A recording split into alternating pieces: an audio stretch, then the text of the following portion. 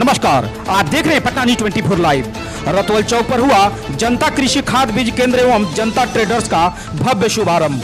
चौतरवा थाना क्षेत्र के धनहा रतवल मुख्य मार्ग के रतवल चौक के समीप शुक्रवार को जनता कृषि खाद बीज केंद्र एवं जनता ट्रेडर्स का भव्य उद्घाटन किया गया, जिसमें सैकड़ों की संख्या में स्थानीय लोगों के साथ कई गणमान्य लोग उपस्थित हुए।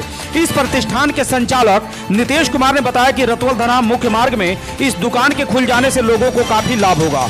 साथ ही इस दुकान में खासकर किसानों की सुविधाओं को ध्यान में रखते हुए सस्ते दरों तथा अच्छी गुणवत्ता वाली खाद बीज कीटनाशक दवाओं को उपलब्ध कराया गया है, क्योंकि यह क्षेत्र मुख्य रूप से कृषि पर आधारित है। संचालक ने बताया कि इसी दुकान में बिल्डिंग मटेरियल का सामान भी उपलब्ध कराया गया है, जहाँ से लोग छड़, सीमेंट, गिट्टी तथा बालू भी सही दामों पर खरीद सकेंगे। वही इस दुकान के खुल जाने से स्थानीय लोगों में काफ़ी हर्ष है।